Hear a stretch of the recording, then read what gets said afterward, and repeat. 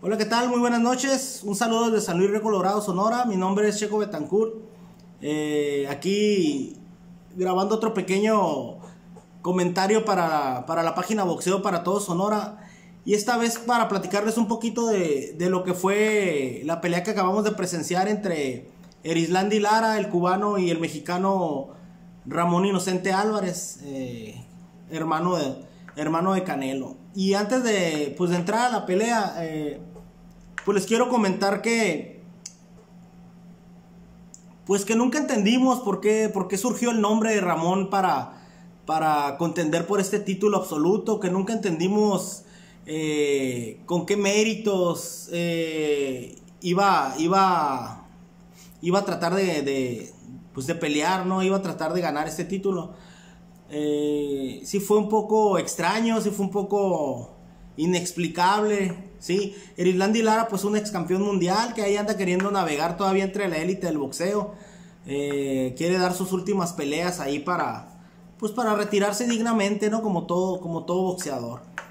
La verdad, eh, tengo que decir, eh, no, me quiere, no me gusta a mí mucho faltarle al respeto ni a los boxeadores, ni burlarme, ni, ni, ni hacer mucha leña del árbol caído, ¿no? Que en este, que en este caso, pues sería lo más fácil. Simple y sencillamente eh, comentar que desde ayer eh, en el pesaje fue penoso lo que presentó Ramón. Eh, se presentó una hora después al pesaje, dando 158 libras. Una cosa inexplicable. Hoy al subir, antes de subir al, al, al, al cuadrilátero, este chico dio 177 libras. Entonces, pues no sé, no sé si cuál era su estrategia o qué pensaba él y su equipo, pero pues es, es un poco extraño esta situación.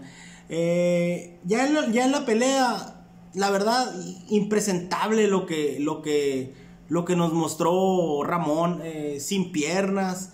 Eh, ahora sí que con todo respeto, cuando dices con todo respeto es porque vas a faltar al respeto, ¿no? Pero ahora sí que sin, sin un. Sin un porte de boxeador, sin un. Eh, no sé, ni siquiera su guardia, sin piernas, sin. Ah, no sé, no sé, la verdad. Fue muy triste, fue muy penoso, eh, tirando volados desdibujadísimos, una cosa pues extraña para un boxeador profesional, ¿no? Eh, Lara yo creo que un 40% de su capacidad fue lo que utilizó hoy y lo acabó pues relativamente fácil. El primer round le entraron dos, tres jabs ahí, Lara ahí a su estilo, entraba y salía, todo lo que tiraba le, pues, le atinaba. Eh, Ramón, repito, muy lento, muy lento y muy, muy falto de técnica. Eh, no sé, el segundo round, pues no sé, quiso apretar un poco Lara y pues casi, casi sin chiste, ¿no? Eh, le lanzó un jab que lo aventó para atrás, lo, contra las cuerdas, eh, le aventó una pequeña andanada de golpes y casi lo saca del, del ring. Se detiene, se hace para atrás, lo deja volver y va sobre él y, y lo acaba. Una cosa casi sin chiste. Eh, yo le recomendaría a este chico que pues que cuelgue los guantes la verdad yo eh, hace rato en un en vivo que hice eh, comenté que pues que yo lo tengo entre mis contactos de Facebook y, por eso no quisiera no quisiera faltarle respeto pero sí le recomendaría que colgara los guantes.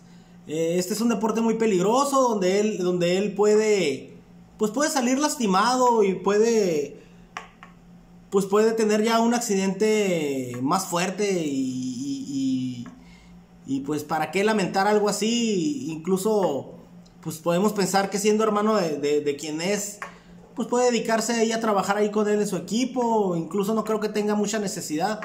Y si su sueño era ser campeón del mundo, pues también hay, hay gente ahí en su equipo y entre sus amigos y entre su, sus colaboradores que pues que deberían de explicarle o deberían de pues de platicar con él y hacerle entender que pues hay cosas que cuando no se puede, no se puede y, y a lo que sigue, él es muy buen muchacho, yo, yo te digo, he tenido la oportunidad de, de seguir sus, sus, publicaciones, lo tengo ahí en entre mis contactos, es un joven muy tranquilo, parece que es muy hogareño, entonces eh, pues no, no, no, no nos gustaría lamentar una situación más fuerte, ¿no?